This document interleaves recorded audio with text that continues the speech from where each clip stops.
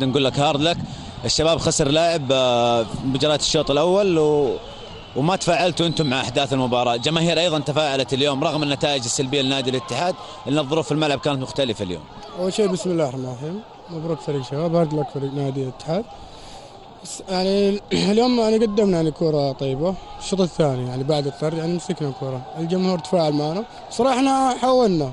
يعني شفت الفرصة حقت ديك. يعني لو جات يعني تتغير مجرى كثير في المباراة. لكن ما سمحت لنا وما توفقنا فيها.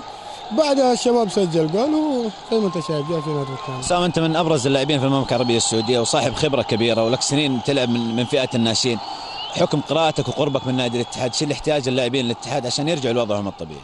والله صراحة نتكاتف نرجع مع بعض يعني زي ما كنا أول والجو الإدارة كمان يعني تكون معانا نتكاتف الجميع لازم يتكاتف لأنه يرجع الفريق صراحة يعني الموسم ده يمكن يعني شبه يعني انتهى يعني باقي بطولة بس يعني كأس الملك إن شاء الله بنحاول لكن على الأوضاع هذه صراحة ما ظنيت يعني يكون في شيء. ما في أمل في بطولة كأس الملك أفهم منك؟ يعني إذا كنا على حالنا زي كذا صراحة صعبة. يعني زي ما أنت شايف الشباب الأهلي الهلال.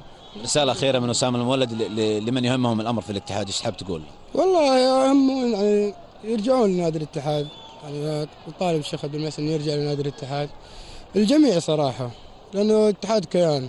يعني حرام يعني نادي الاتحاد زي نادي الاتحاد إنه يعني ذا المستوى صراحة يكون فيه. يعطيك العافية أسامة شكرا لوجودك. خلاص شكرا للكابتن أسامة المولد ومن قبله أيضا الكابتن ناصر الشمراني مع زميل نايف مشهور وضيف من جانب الاتحاد ومن ضيف نادي الشباب. تفضل نايف. شكرا زميلي رياض. المزهر مباشرة الحديث للكابتن أحمد بوعبيد وهو المنتقل حديثا للفريق الاتحادي. كابتن أحمد يعطيك العافية.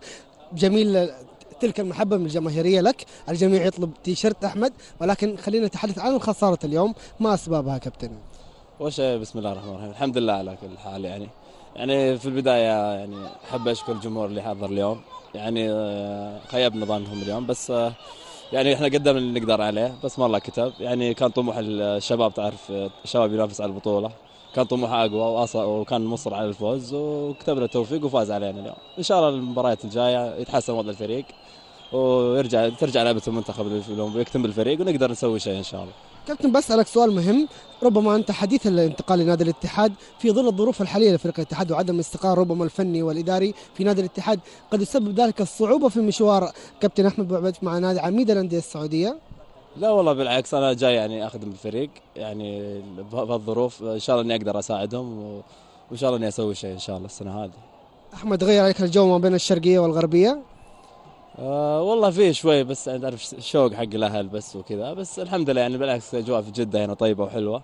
وزي ما أنت شايف الجمهور يعني آه يعني واقف ورانا. وإن شاء الله إنه يعني نسوي شيء إن شاء الله. شكرا أحمد وهارد لك الخسارة يلا يعطيك العافية. حياك الله. إذا كان ذلك حديث كابتن آه، أحمد بوعبيد مباشرة حديث مع النجم